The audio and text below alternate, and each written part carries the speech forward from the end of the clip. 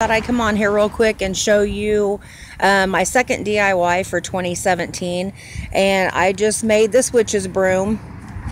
And I got the broom from Walmart. It was like $4.96 or $5.96 and then the little rose with the eyeball that was a dollar from Family Dollar.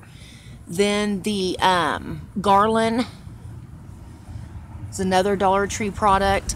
And then the hat this broom parking and the feet. This was a sign that was all together that I got at Dollar Tree and I just cut it apart and glued it on there. And then the little bat.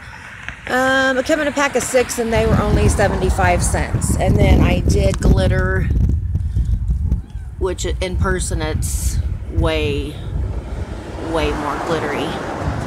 But so, yep, that's my little second DIY. Not bad, like what, six, seven bucks? Let's see, five, six, seven, eight.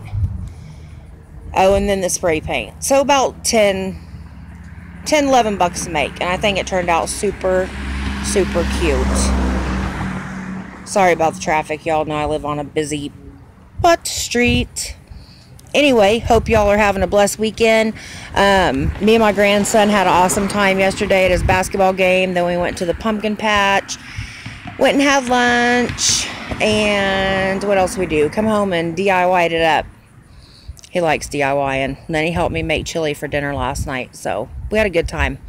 Hope everybody else had a great weekend and a blessed week to come.